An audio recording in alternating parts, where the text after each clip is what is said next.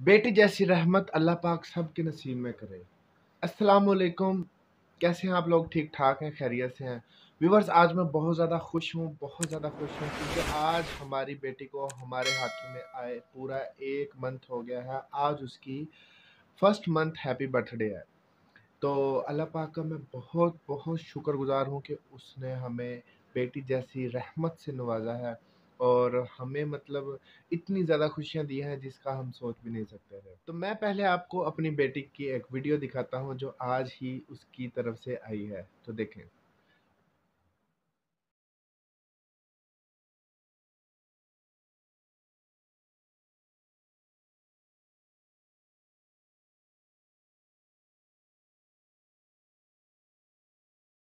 जी तो व्यूवर्स आपने देखा है कि माशाल्लाह से वो कितनी प्यारी लग रही है। माशाल्लाह आज उसने न्यू कपड़े पहने हैं, क्योंकि आज उसका फ़र्स्ट मंथ है, फ़र्स्ट मंथ कंप्लीट हो चुका हुआ है और माशाल्लाह अल्लाह पाक ने उसे ज़िंदगी अता की हुई है और वो देख तो रहे होंगे कि माशाल्लाह कितनी प्यारी है। तो व्यूवर्स क्योंकि मैं हूँ अपने घर पे और वो इस टाइम ससुराल पे हैं, क्योंकि उनका ऑपरेट हुआ था और जिसकी वजह से अभी तक वो उधर ही हैं तो दिल कर रहा था उससे बात करने को तो मैंने उसे वीडियो कॉल की है तो मैं दिखाता हूँ आपको हमारी क्या बात हुई है। मेरा बेटा। मेरा सोना बेटा और तू कितनी पाली हो गई है तू कितनी पाली लग रही है इस कपड़ों में।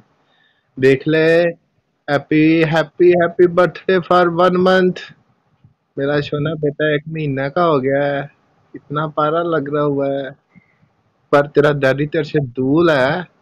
तेरा पापा अभी दूर है। कोई बात नहीं, कुछ दिनों तक मिलने आ जाऊँगा अपने बेबी से। बेबी सोनी सोनी जाग तो जाओ ना। देखो ना, आज एक महीना हो गया, आपको हमारे पास आए हुए। अभी तक शोइया शोइया ही नहीं होती आपकी। छोड़ दो ना शोइया शोइया अब।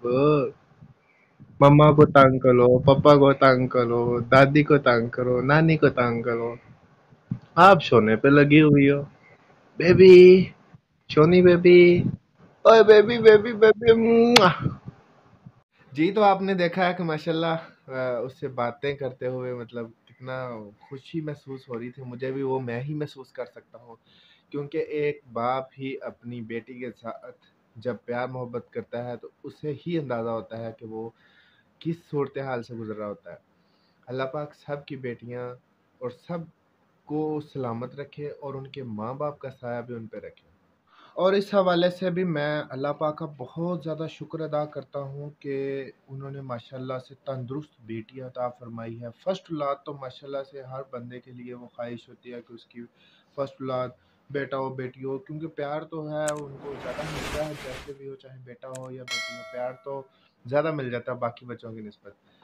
तो कुछ सीन भी ऐसा ही है, अगर मेरी वैसे भी बच्चों के साथ काफ़ी ज़्यादा बनती है तो मेरा तो फिर वो खुद का खून है तो क्यों ना उसमें मोहब्बत क्यों ना हो? तो मैं आपको रात का कुछ एक गमगीन सा वाक़ बताता हूँ कि मेरा एक दोस्त है, जिसे लगोटिया यार भी कहते हैं जिसे हम कह सकते हैं कि वो बचपन का दोस्त है, मेरे गाँव का ही है। तो उसके पहले भी दो तीन बच्चे हैं, और रात ना उसकी उसका बेटा उसकी तरफ़ पैदा हुआ है ऑपरेट हुआ है या जो भी सीन हुआ है हॉस्पिटल में पैदा हुआ था।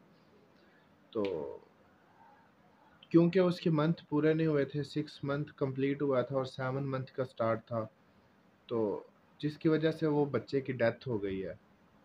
तो जब देखा कि उसके बच्चे की डेथ हो गई है, दिल में दुआएँ भी उठी, दिल में हंसतें भी आई कि या अल्लाह तेरा लाख लाख शुक्र है कि तूने हमें एक ऐसी औलाद जैसी नेमत दी, जो बिल्कुल तंदुरुस्त है, बिल्कुल ठीक है, माशाल्लाह से प्यारी भी है। शुक्र अल्हम्दुलिल्लाह। और हमारे हाथों में भी है, उसकी ज़िंदगी भी है इस वक्त।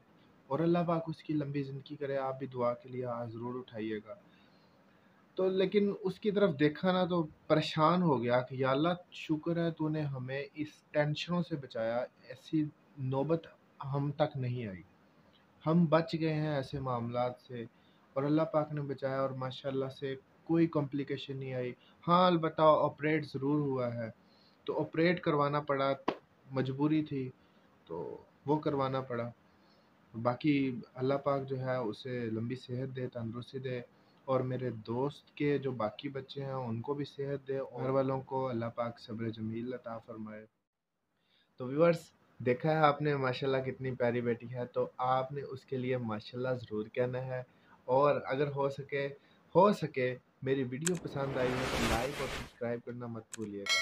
क्योंकि मैं इस तरह की वीडियोस आपके सामने लेकर आता रहूँगा, जिसमें आप बहुत इंजॉय भी करेंगे और मेरे व्लॉग्स भी हैं, वो भी आने ही वाले हैं। मज़ीद कुछ मैंने अपलोड्स भी किए हैं, जिनको आप देख सकते हैं मेरी आईडी से।